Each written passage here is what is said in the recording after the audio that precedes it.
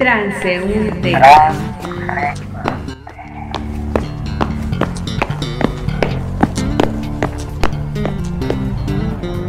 Contracultura y rock. Bueno, Gaby Cabañas, preséntanos a nuestro invitado, por favor. Sí, muy, muy a gusto. Eh, realmente me siento honrada, nos sentimos honrados aquí en el colectivo, en Transeúnte, de poder recibir, de tener en vivo al maestro Jesús Antonio Aguirre, mejor conocido como Frino en el mundo de la producción artística. En este país lo conocemos como Frino, un gran poeta que admiramos y que bueno, le damos la bienvenida, maestro. Muchísimas gracias por estar aquí con nosotros. Hola, Hugo. Hola, Gaby. Eh, muy buenas noches. Al contrario, muchísimas gracias a ustedes. Y mira, eh, sin planearlo, eh, qué gusto escuchar a Manuel García, a quien acabo de saludar. Ya nos conocemos hace algunos años también, pero lo, lo, vi allá en el Cervantino, en, en Guanajuato. Y pues siempre me da muchísimo gusto de poder este, saludarlo, encontrármelo por los caminos. Claro, esta identidad latinoamericana, estos cantores, eh, hacedores de canciones, pues se tienen que topar y, generar experiencias. Eh, Frino, oye, queremos platicar contigo, estás eh, en unas cuestiones de, fandangos informativos, pero también hablar contigo de esta experiencia de haber estado en la institución y ahora volver al camino de la, de la autogestión y esta experiencia que tienen como muchos, muchos músicos como tú, ¿no? Que levantan la mano para llevar estas, las riendas de, de, este monstruo burocrático, entran y, regresan porque siempre han estado aquí, ustedes siempre han estado aquí. Las gestiones pueden ir y venir, pero ustedes siempre están aquí. Cuéntanos, Pues así es. Eh, efectivamente, durante los eh, últimos seis años estuve pues formando parte del equipo de la Secretaría de Cultura del Gobierno de México. Los primeros tres años en la Coordinación de Desarrollo Cultural Infantil, en el programa Las y Raíces, y los, eh, la segunda mitad del sexenio, pues como director general de Culturas Populares, Indígenas y Urbanas. Y en efecto, Gaby, Hugo, pues en ambos eh, eh, ámbitos, en el de la cultura infantil y en el de la cultura popular, pues tengo la fortuna de haber conocido a mucha gente eh, a lo largo y ancho del país, de, haber tenido muy buenas experiencias con la comunidad artística, también muy buenas experiencias con el vínculo con muchos eh, compañeros y compañeras que trabajan igual en los estados del, país, en las instituciones estatales de cultura y también personal pues al interior de la propia Secretaría de Cultura. Pero estos fandangos informativos a los que te refieres y que en realidad, bueno, fue un fandango informativo recientemente, obedece a dar a conocer una situación delicada, una situación eh, que me parece que es imprescindible que la comunidad artística conozca de primera mano porque si no estaría yo faltando a la ética de ser un servidor público, es decir, alguien que sirve al pueblo y en ese sentido, pues el pueblo es la comunidad a la que pertenezco desde hace más de 30 años como artista y tener información de primera mano eh, y no compartirla, pues sería tanto como traicionar a esa comunidad artística. ¿Y a qué me refiero? Eh, la Dirección General de Culturas Populares fue creada hace más de 45 años y durante su historia pues ha pasado por diferentes etapas, incluso por diferentes eh, maneras de concebir las políticas públicas. La Dirección de Culturas Populares nace como un, último impulso, digamos, del taller de la gráfica popular, del cardenismo, como un, eh, una institución dedicada a fortalecer el patrimonio vivo de México, acompañar esos procesos y lo, la funda ni más ni menos que Alberto Beltrán, un grabador, pues, eh, investigador de la cultura popular en, nuestro país, Stavenhagen, Rodolfo Stavenhagen, y Batalla, nombres que conocemos todos quienes estamos en las humanidades. Pero en ese transcurso Y es importante eh, contar esta historia, digamos, lo voy a hacer de manera muy rápida porque el tiempo pues no nos, no nos alcanza, pero sí decir que en el transcurso eh, que eh, existe la Dirección de Culturas Populares, hay también un momento en el que se empieza a hacer una descentralización administrativa. obedeciendo las políticas neoliberales. En los noventas, el gobierno de México eh, suscribe compromisos con el Fondo Monetario Internacional y entonces el adelgazamiento del Estado se hace necesario. ¿No? Y eso sucede en muchas eh, paraestatales, sucede en la salud, sucede en la industria energética, sucede en la industria alimentaria incluso, eh, en la educación porque la política es esa, es dictada desde afuera y dicen, bueno, pues hay que liberarlo todo al mercado. Por supuesto que la cultura popular es lo primero que sale sobrando. Y digo sale sobrando porque así era concebido, no porque sean palabras mías, ¿no? Sino porque entonces empezó una política de abandono y de desmantelamiento de la Dirección General de Culturas Populares. Ahí empieza todo el conflicto que estamos viviendo hoy. Treinta años después, de iniciadas esas políticas, pues el pueblo de México decide que quiere tomar otro rumbo. Conocemos la historia con el presidente Andrés Manuel, pero en 2018 no llega ese impulso a la Dirección General de Culturas Populares.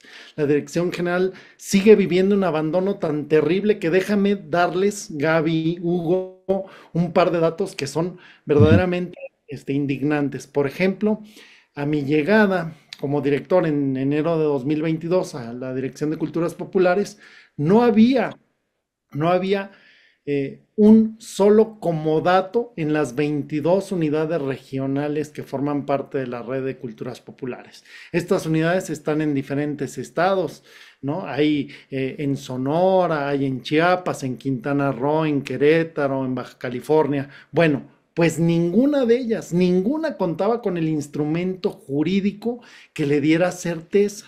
Y eso puede parecer un simple trámite administrativo, pero no lo es.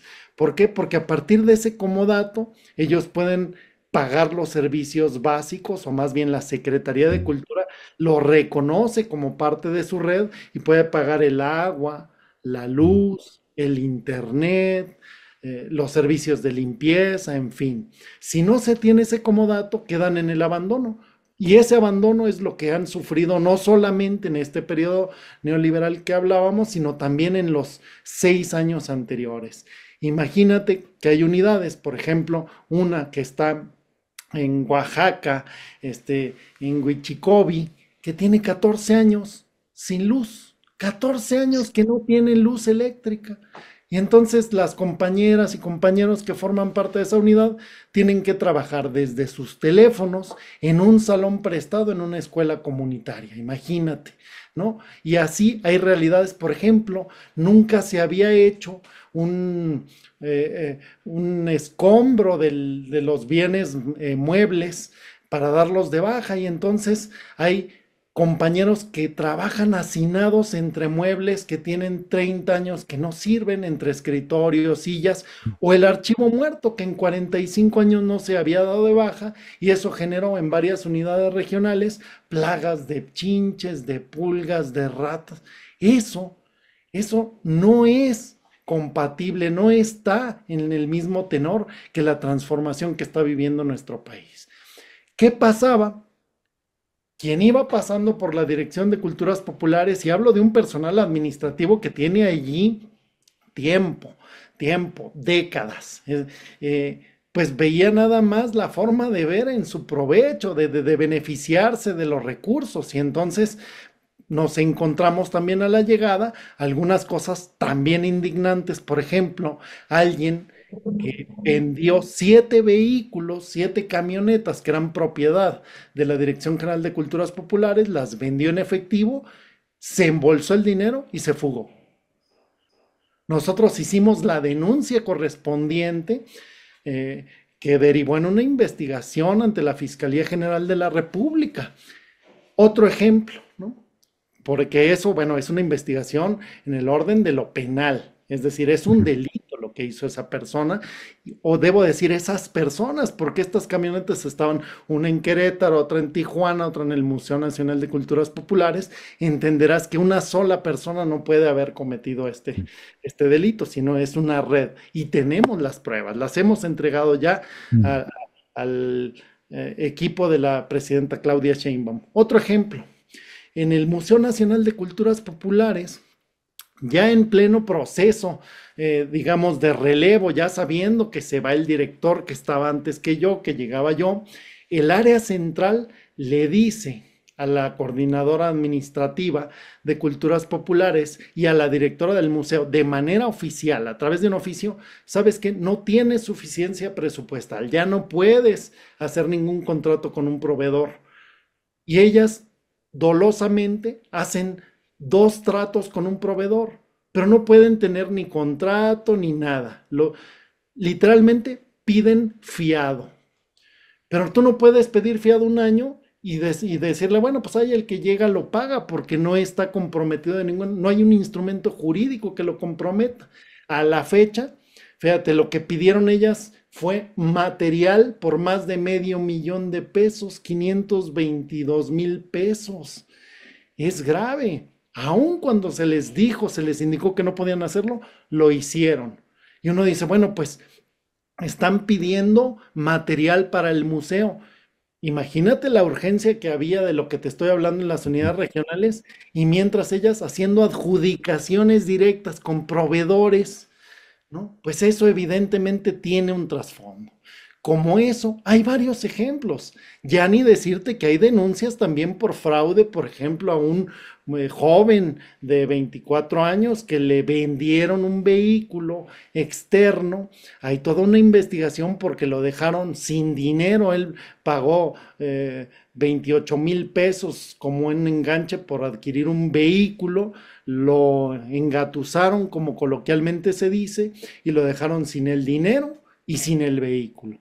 Como eso, hay una serie de anomalías, muchas anomalías, y también otras que son formas de corrupción disfrazada. ¿Qué sucede, eh, Gaby Hugo? Cuando yo empiezo a hacer estas denuncias formales ante el órgano interno de control de la Secretaría de Cultura, formales ante la Fiscalía de la República y ante las eh, instituciones que así lo ameriten, empiezo a sufrir de una campaña de hostigamiento al interior de hostigamiento no solamente por compañeras eh, de la propia Dirección de Culturas Populares, que empezaron a decir que yo las maltrataba laboralmente, que yo era un hostigador laboral y algunos medios muy irresponsables sin hacer las investigaciones, pues empezaron a publicar mi nombre, imágenes mías, datos personales diciendo, obviamente, que yo soy un hostigador.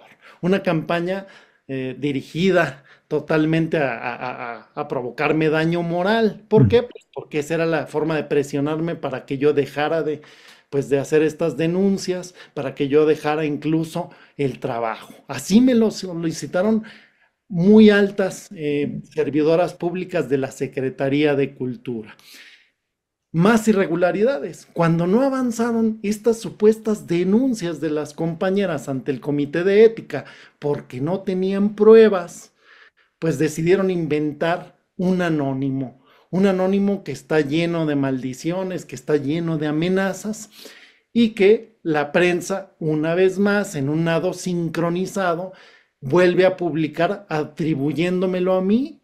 Yo hago una denuncia para que efectivamente se investigue de dónde viene este anónimo, que se llame a la policía cibernética, que se meta una denuncia ante la eh, eh, propia eh, Secretaría de Cultura, tendría que haber ordenado una investigación con un anónimo tan grave, y no, lo que hizo la propia Secretaría de Cultura y estas compañeras fue nuevamente hacer una campaña de descrédito. Y así ha venido funcionando hasta tal punto, imagínense ustedes, pues que a la llegada de la secretaria eh, Claudia Curiel, yo busco entrevistarme con ella, darle a conocer todo lo que está ocurriendo y ella pues se niega a verme, se niega, no pude verla nunca. Y su jurídico, su nuevo titular de jurídico, em, eh, Diego Armando Guerrero García, pues lo que hace es solicitarme la renuncia. Yo efectivamente presenté mi renuncia a la secretaria Claudia Curiel, dirigida porque ella era mi jefa inmediata. Eso le provoca una molestia al jurídico y lo que hace es correrme. Fíjate, ya había yo entregado mi, renuncia, ¿no? Para el 31 efectiva, yo le entregué el 4 de octubre, es decir, a los cuatro días de haber llegado a la nueva Secretaría de Cultura. Me manda a llamar el jurídico, me dice, tienes que renunciar el día 3 el día 4 yo se las entrego dirigida a Claudia Curiel. Ellos dicen que no, que se la tengo que dirigir al jurídico. Yo le digo, pues así es, estos son los términos reales y lo que hacen es correrme y nuevamente publicar en algunos medios irresponsables el documento, el oficio en el que dicen que me están corriendo por hostigador laboral. La investigación de un comité de ética, y tengo que decirlo, puesto a modo para eh, acusarme, para emitir un dictamen acusatorio, tiene muchas irregularidades. Por ejemplo, hacen una denuncia pública o una denuncia colectiva, cuando las denuncias tienen que ser personales, diciendo hora, fecha y describir los sucesos. No, es una denuncia que dice pues es mal encarado y demás, pero los hechos sustanciales no me los dieron a conocer nunca, nunca. Tan apresurada hicieron esa supuesta denuncia que los, los nombres de los propios denunciantes y las firmas no corresponden. ¿Cómo alguien va a firmar algo que no tiene su nombre, que tiene su nombre mal escrito, que tiene sus apellidos? No digo con una falta de ortografía, que eso sería. No, cambian los nombres unos por otros. A un tipo le cambian el nombre Augusto por Julio. Imagínate, ese es el panorama. ¿Cuál es, cuál es eh, el fondo? Hacen aparecer como que esto es efectivamente un conflicto entre un jefe gruñón, gritón y unas muchachas, tres mujeres jóvenes, algunas de ellas madres de familia, inocentes que han sido amenazadas y que no pueden contra la ira del jefe.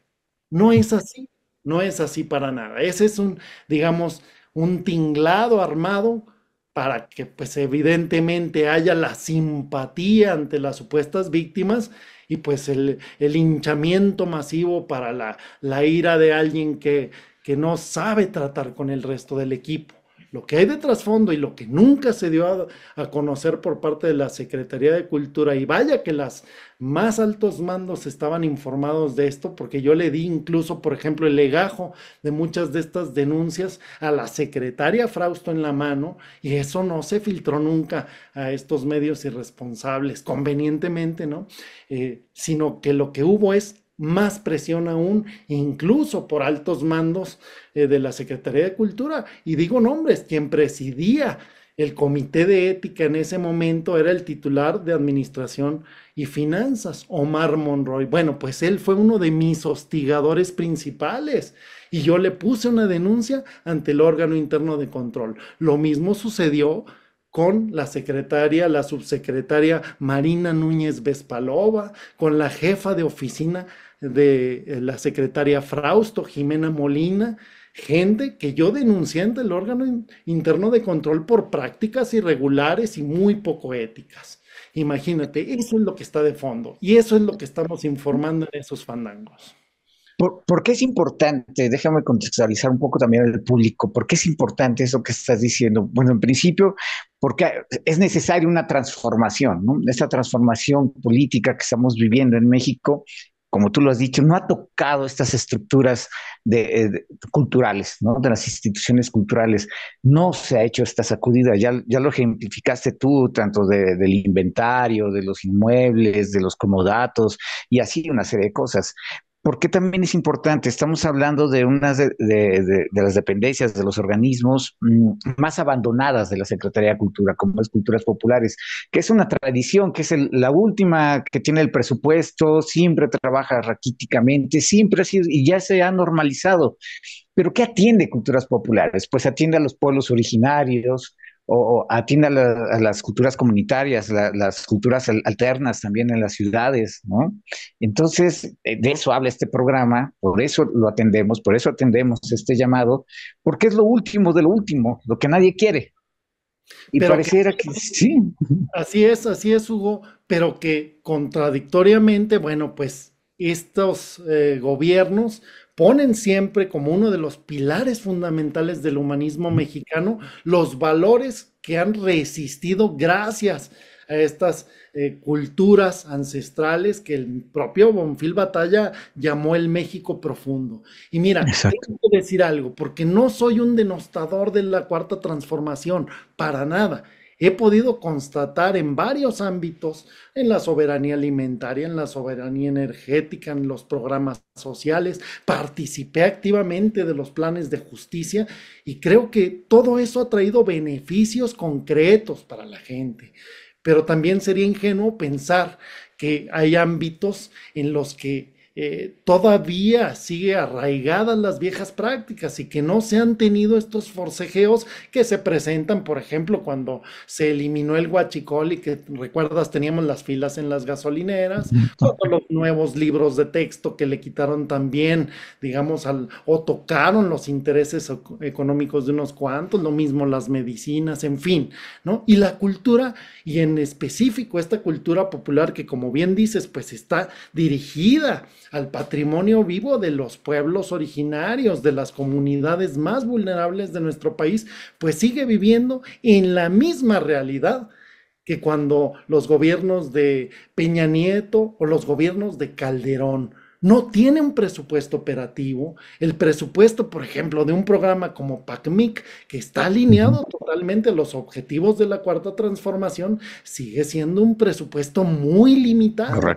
Muy limitado, ¿no? Entonces, y fíjate que logramos algo que no, no se había tenido en los 35 años de PACMIC, que fuera que los estados hicieran las aportaciones al mismo nivel que es la federación y entonces en este año eh, se, llegaron a los 60 millones, 30 millones de la federación y 30 millones eh, de los estados, ¿no? Y hay que decirlo también, todos los estados están activos, se reactivaron algunos que tenían adeudos desde hace 5 o 6 años, bueno, pues se pudieron con la buena voluntad de los gobernadores, las gobernadoras, eso se pudo lograr, pero PACMIC, por las propias recomendaciones de Hacienda, puede dispersar muchísimo más recurso y puede eh, observar mejor eh, pues el control que tiene la transparencia, porque es un programa ciudadanizado.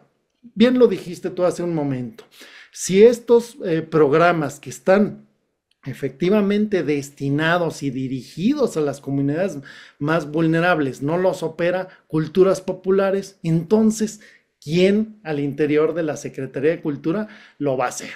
Y yo creo que eso es lo que está en juego, una dirección que está todavía en un proceso de desmantelamiento, que ha sido tomada como refaccionaria, por ejemplo, para pagar laudos. ¿Por qué? Porque tiene muchas plazas, muchas plazas que han sido saqueadas y enviadas a, pagar eh, eh, plazas que se deben en otras direcciones e incluso en otras áreas de cultura. Hay un intrincado eh, realmente complejo entre incluso áreas como el IMBA, el INA y culturas populares. Y nada de esto quieren que se sepa. Yo tengo la responsabilidad moral de contar lo que viví y también que la gente y mi comunidad artística, es de mis amigos, mis colegas de toda la vida, sepan por qué de repente, pues los periódicos hablan de este ser tan perverso y malévolo que es el doctor Frino. Maestro, nos, nos encontramos pues conmovidos por esta situación. Sin embargo, creo que el, denominador común entre el hacer artístico y la comunicación, pues es el imperativo ético hacia la verdad. Y creo que este ejercicio nos ha enriquecido mucho y es un punto de partida para lo que viene, para hacer, involucrar, involucrarse entre los públicos, los artistas, los actores políticos, todos, Eh, no cabe duda que lo más importante es ciudadanizar los procesos de la administración de, la vida pública de este país, de los presupuestos de este país y de la cultura de este país. Pues tenemos el tiempo muy limitado en, en este espacio, maestro Frino, pero no quitamos, no quitamos la, la vista de este asunto y ojalá que este ejercicio sirva también como un ejemplo de la importancia de la verdad eh, también en la producción artística. Muchísimas gracias, Gabriela. Efectivamente, la intención es que todo esto que estoy platicando pues contribuya a que efectivamente la vida pública sea cada vez más pública, insisto he podido ver los beneficios de, lo, de la transformación que está viviendo nuestro país y, creo que efectivamente es desde los ciudadanos como se logra esa transformación. Por eso yo pongo mi, pequeño granito en esta, pues en este gran concierto. Y les, les agradezco muchísimo también el valor eh, que tienen ustedes, pues de invitarme y, y permitirme también este, darlo a conocer ante la comunidad artística y ante la gente. Muchísimas gracias. Ah, muchísimas gracias a ti, Frino. Eh, me tocó ese proyecto de Casa Coyote Iguana, allá en Punta Chueca, Sonora, que lo que era un picadero, lo que era un, picadero en un pueblo, se convirtió ahora en un espacio y administrado por Valentina Torres, que es un es de la comunidad y es para la comunidad y ya es un espacio, ya es autogestivo, pues, ¿no? Mira, como coloquialmente se dice, se me pone la piel chinita porque efectivamente es una metáfora lo que sucedió con el coyote iguana. Cuando yo lo, lo vi, era un picadero, estaba, bueno, tengo las fotos y las entregamos junto con las evidencias, en un lugar abandonado. Bueno, pues así está el resto de culturas populares y, y pues hay que contribuir a que se dignifique, porque el trabajo de cientos de compañeros que tienen ahí décadas trabajando, que iniciaron como un fil batalla, es lo que está en juego. Exacto. las instituciones culturales se merecen también una transformación a la par de lo que está ocurriendo en el país. Muchas gracias, Fino. Al contrario, gracias a ustedes y seguimos. Nos quedamos escuchando. Buenas noches. Buenas noches. Eso. Cortando rábanos del buen Frino, porque es blusero, es decimista y como tal da la cara. No es un baile de disfraces, ni es un orgasmo fingido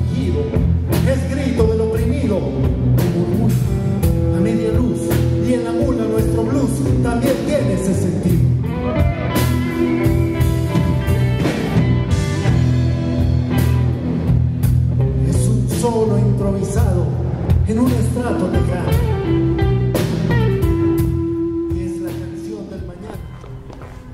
Transeúnte es una producción de subterráneos con postproducción de Radio Común.